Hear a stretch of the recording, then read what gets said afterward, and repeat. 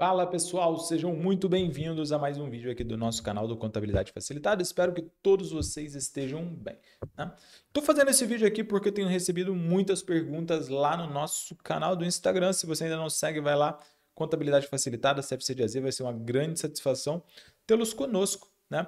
Mas por que, que eu estou fazendo esse vídeo? Nem vou mandar para edição, vou fazer aqui direto com vocês. Vamos rodar isso aqui acabou. Tá? Porque é, a, o resultado do exame de suficiência está mais próximo do que nunca.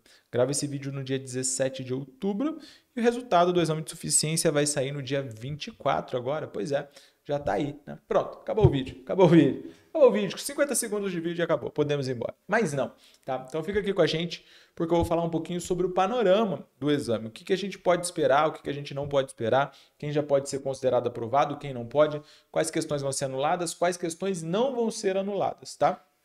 A Consuplan vai continuar? Não vai continuar. Então, a primeira coisa que eu quero que você saiba é o seguinte: o resultado vai sair no dia 24 no site da Consuplan. Esse resultado é o que a gente chama de resultado preliminar. Isso significa que desse resultado ainda cabe recurso, mas não contra as questões, mas sim contra, tá? Cabe recurso contra o resultado. Então, o que isso significa dizer? Imagine-se que eu fui lá, fiz a prova, né? E de repente o meu, meu nome não saiu lá na lista de aprovados. Eu fiz a pontuação necessária, mas meu nome não está na lista. Então eu posso fazer um recurso recorrendo contra isso. Beleza? Então esse é o tipo de recurso que cabe agora. É o recurso. Vou ter que desligar esse ar porque eu tô ficando frio, tô ficando velho, tô ficando com frio. Então o recurso que cabe agora é um recurso contra o resultado. Beleza? Isso é muito importante que você saiba, e não mais contra as questões.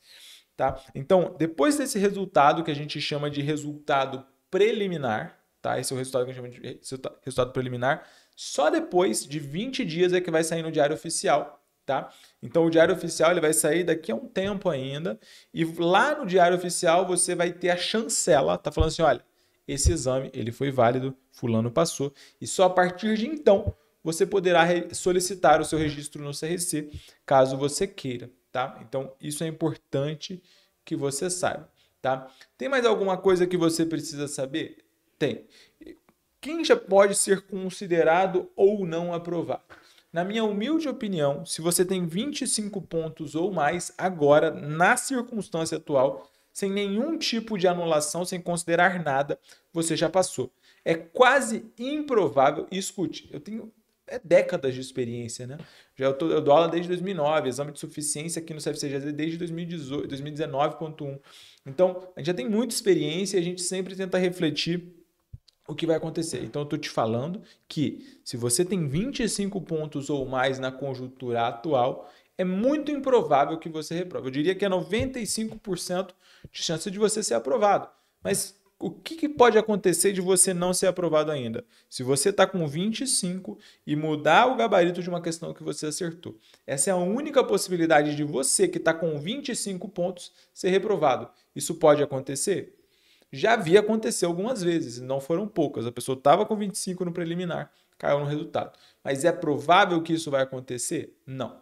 Tá? Então, 25 pontos ou mais pode ficar tranquilo, já pode comprar a carne do seu churrasco e deixar no congelador em stand-by, tá? Mas você já pode chamar os convidados falando que você está sob uma condição aí, né? Tá condição suspensiva até que esse até que o seu nome saia, mas vai sair, fé no pai, que o CRC sai, tá?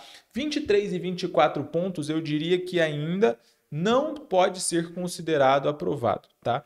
Porque tá com menos de 25. Mas existem chances de anular duas questões? Existe. Tá? Existe. Existe aquela questão, por exemplo, da DFC que fala do caixa consumido, caixa gerado de 50 mil reais. Aquela questão, eu penso que ela tem uma boa chance de mudar. Eu vi que muita gente errou essa, essa questão lá na prova. Tá? Então essa questão ela tem uma chance boa até de alteração, porque faltou o sinal negativo ali na, na DFC e uma, uma despesa sem sinal negativo. Essa é uma questão que tem uma chance boa de mudar. E você tem ainda é, aquela questão de contabilidade de custos que fala do custo de transformação 1, 2 e 3. Essa questão também está com uma falha ali no enunciado, no item 2, na parte que fala do custo de transformação. Eu também consideraria uma boa possibilidade de mudança, mas as demais vai depender muito do julgamento da banca. Lembrando que a banca é quem decide o que vai acontecer ou não. tá? Então 23, 24 pontos, ainda dá para ter esperança, sim, mas depende, está na mão do examinador, depende do bom humor do nosso querido examinador, tá bom? Agora 22 para baixo, infelizmente, as chances estão muito complicadas. Eu diria que se você tem 22 ou menos, eu já começaria a estudar para a próxima edição, tá? Começaria porque vai ficar muito difícil. Olha, não diria impossível com 22, mas 90% de chance ali talvez de não dar certo a sua aprovação, tá?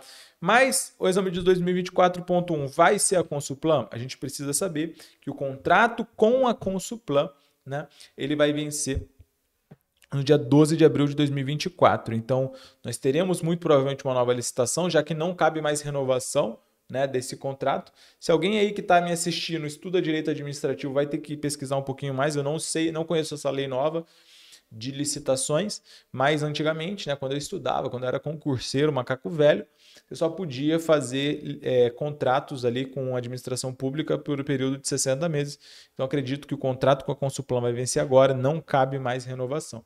A Consuplan vai continuar fazendo o próximo exame? A gente ainda não sabe. Por quê? Porque ela acabou de ganhar a licitação para fazer o exame de qualificação técnica. Então, galera, infelizmente, não sei, tá? Mas cuidado com o que você deseja. Se você deseja que saia com o Suplan, pode chegar uma FGV e eu te garanto que aí o filho chora e a mãe não vê. Beleza? Então vamos esperar, vamos aguardar dedos cruzados, torcendo por todos vocês. Eu prefiro muito mais que vocês passem, venham estudar conosco na nossa pós-graduação que a gente vai lançar, venha fazer curso de imposto de renda, de MEI, estudar os outros cursos da escola contábil do que ver você reprovar, ficar se arrastando. A gente está aqui para transformar vidas.